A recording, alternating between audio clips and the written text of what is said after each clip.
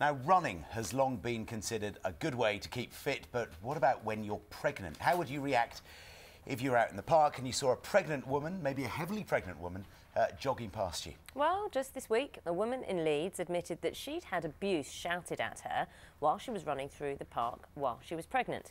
We went to Roundhay Park in West Yorkshire to find out what people think about it there. I won't be doing no hardcore stuff like running up and down hills and what have you. Just like some light exercise like yoga and things like that. Eat what you want, do what you want, and worry about it afterwards. I don't think they should be overdoing it. Obviously, not sprinting or doing a marathon or anything, but I think good walking and it, it sort of. I think when it comes when it, for pregnant when it, when it comes down to labour time and stuff, maybe it makes helps things a little easier at that point. But uh, yeah, not overdo it, just lightly. I think. Yes, gentle exercise, Pilates, yoga, that kind of thing. Well, those are some views. Joining us now is Rob Woollen, who's a personal trainer from and all from London. And also in London, we have Nell McAndrew, a model, mo mother, and marathon runner.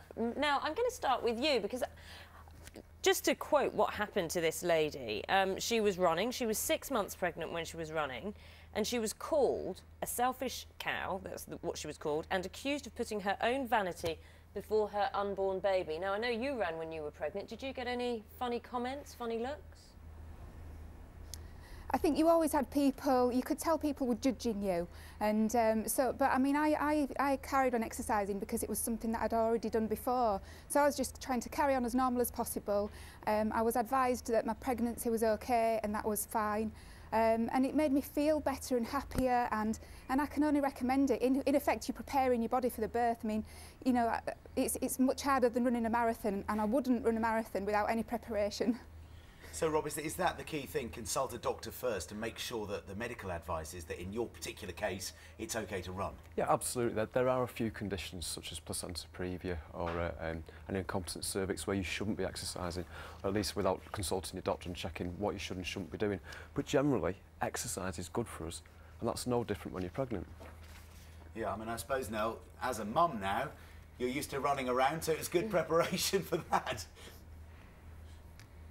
Well, well, that's it. I mean, you know, women have been having to carry on for centuries. You know, when my mum, you know, she had four children, she was constantly dashing up and down to school, didn't have time to take a jacket off. She was probably doing a good five miles a day without even realising it and cramming in, you know, cleaning jobs. And, and you just think, you know, a lot of women are actually exercising a lot more than you realise already. And, you know, and there's so many benefits. You know, it can improve your sleep because you, it's hard to get comfortable when you're pregnant sometimes. So if you exercise, that it definitely improves your sleep. It can help balance your hormones. It can help ease your back pain. And some women say it actually helps with their sickness, with their nausea as well, just getting out in the fresh air. It is about keeping the balance now as well. And Rob, we'll get your view on this as well, because now um, there was the case of that, the lady at the Chicago Marathon. I don't know if you remember, she was 39 weeks pregnant and ran the Chicago Marathon, actually end up, ended up giving birth later that day. I mean, I'm, I'm sure most people wouldn't recommend you do something like that.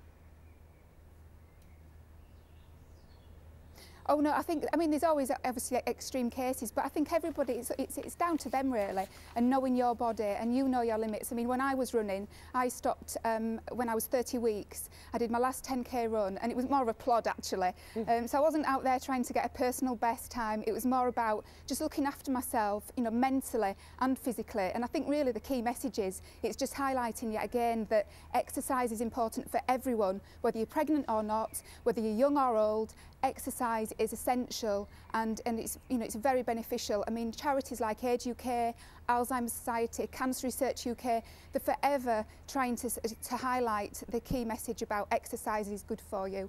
And so when you're pregnant, you know, it's not an illness, you're just pregnant and you're just trying to mm-hmm. carry on the best you can. And if you can feel happier, then, then you should do it. Rob, I think no, nobody would, would argue with that, that exercise is good for you, especially when you're pregnant. But I think it's it's the idea of running, isn't it? It's, you know, with a baby inside you uh, and, and jogging in, in, in, the park or whatever that might might damage the child in some way. What else would you recommend? If, if a pregnant woman didn't fancy jogging, what else could mm. she hmm. do that would be equally beneficial but maybe not quite so uh, dramatic? Well, you know, moving. Just being moving. active. The thing with running is, if you're a runner, there's absolutely nothing wrong with running when you're pregnant. What we don't recommend is that people who haven't run in the past become pregnant and then suddenly start doing things more and more. You've got to remember that they're not in the Avengers, so you don't need to start doing heroics and, yeah. and doing sort of more and more than you're used to doing. But absolutely anything's really, really okay. There are a few safety points you need to watch if you are pregnant and you're going to exercise. Your joints are more lax than they, than they used to be because you have to, to, to get a baby out. So extreme ranges of motion aren't really the thing to do. Also very fast changes of direction aren't the things to do. You don't want to be lying on your back after about 20 weeks because it can, it can compress the, the blood vessels. So no sit-ups and- Sit-ups are really out after, after that point in time. But really anything within moderation, do what you're used to doing. Listen to your body. As Nell says, your body knows. You know, you know what's good for you and what's bad for you. You'll have days when you feel like you don't want to do very much and you've got to be able to adjust the session to suit that. But really, exercise is good for pregnant ladies and it's good for the fetus. It's actually shown that, that, that people who exercise, the baby survives the, the labour in a, in a better state. So it's good. Good. Good. Rob, now, thank you very much. We are out of time, but thank you very much for joining us today. Now, are you off for a run now? I am. I'm all dressed and ready to go. Good for luck. Myself. I love it. I love it. That's not my idea of a bank holiday Monday, I have to say, but there we go. Um, there we go. The time now is